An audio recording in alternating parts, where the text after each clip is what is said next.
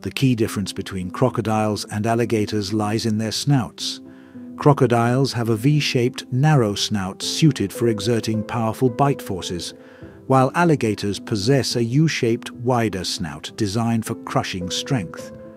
Crocodiles, often seen with a toothy grin due to their protruding fourth tooth, they are more aggressive and have a higher tolerance for salt water, thanks to specialized glands.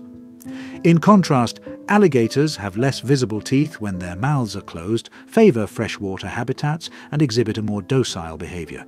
These distinctions reflect their unique adaptations to diverse environments and hunting strategies.